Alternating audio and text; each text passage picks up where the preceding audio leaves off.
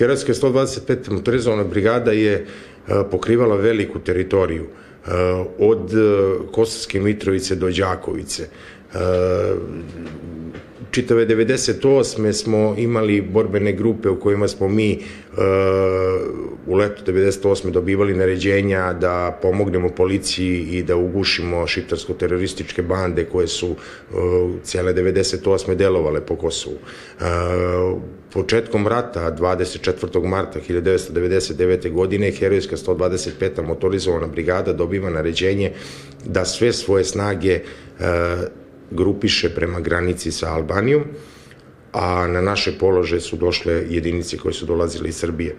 10. E, aprila e, Herojska 125. motorizovana brigada je graničarima pomagala e, i 98. godina davala je dubinsko obezbeđenje i ispomoć graničarima. Ali 10. aprila sve jedinice, između ostalih i Herojska 125. dobija naređenje da izađe na granicu sa Albanijom, očisti, pomogne i suzbije teroriste i istera ih sa naše teritorije. U nekoj neformalnim razgovorima smo pričali, smo već bili onako negde i pripremljeni s obzirom da posebno ta Martovska partija koja je direktno otišla na Kosovo i zadnje položila zakletvu, s obzirom da smo imali borbena dejstva i 98. godine, e, iskreno nam je bilo, e, nismo imali nikakav strah što se tiče straha, ali konfiguracija terena samog e, na prokletijama to nam je bio veliki problem i na tako nešto nikad nismo nailazili nigde. Čak ni evo 20 i nešto godina posle rata i pre rata, ta, tak, takva konfiguracija terena, takve, takve magle, kiše, snegovi, to, to nije, nismo nigde videli. To nam je bio veći problem nego, sam, nego sama borba sa teroristima. Tu su bili svakodnevni napadi od 9. aprila do 14. juna u reonu Karaole, Košare, u tom graničnom pojasu su svakodnevno bile e, veliki, bili veliki napadi, e, zato e, je bitka na Košarama najčestitija i najveća bitka za vreme zlikovačke NATO agresije 1999. godine. Zato bitku na Košarama i upoređuju sa bitkom na Ceru, na Kolubari, na Kajmakčalanu i svim velikim bitkama kroz nažalost, i naša stradanja kroz svu ovu istoriju.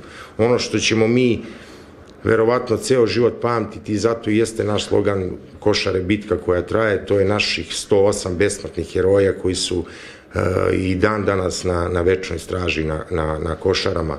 16 uh, e, tela koja, koja, koja su ostala na, na Karauli, koja nisu pronađena i 256 uh, istinskih heroja ranjenih koji su dali deo svog tela.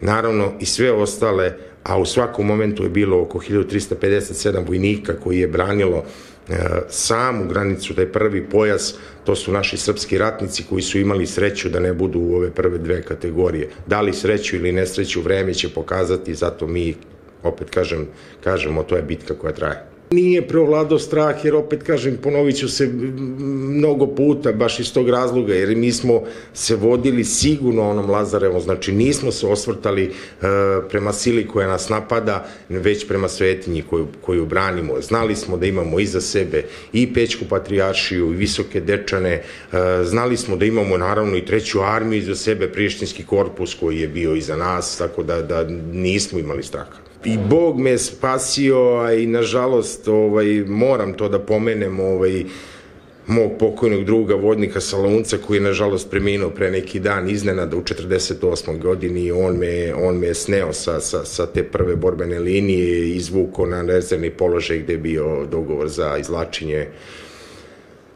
ranjenih mrtvih i ovaj, pod kišom granata i pešadijskih i artiljerijskih uspio je na leđima da me, da me snese u taj potok, prekrije šatorskim krilom ovaj, i nažalost pre neki dan sam ja njega nosio na večnu stražu u 48. godini.